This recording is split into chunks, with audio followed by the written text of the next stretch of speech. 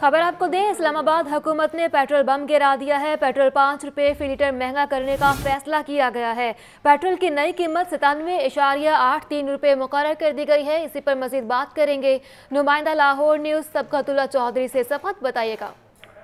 جی بالکل، عوام پہ پٹرول بم گرا دیا گیا ہے۔ اس سلسلے میں وفاقی حکومت کی جانب سے اوگرا نے پٹرولیم کی نئی قیمتوں کا نوٹیفکیشن بھی جاری کر دیا ہے، جس کے مطابق پٹرول کی نئی قیمت ستانوے روپے تراسی پیسے فی لیٹر مقرر کی گئی ہے، جبکہ ہائی سپیڈ ڈیزل کی قیمت میں بھی چھ روپے سینتیس پیسے فی لیٹر اضافہ کیا گیا ہے۔ مٹی کا تیل تین روپے فی لیٹر مہنگا ہوا ہے۔ اس حوالے سے یہ مسلسل پٹرولنگ مصنوعات کی قیمتوں میں مسلسل اضافے کا رجحان ہے، جبکہ عوام کی اس سے قبل تیرہ روپے پٹرولی مصنوعات کی قیمتوں میں تیرہ روپے اضافے کی سمری بھجوائی گئی تھی۔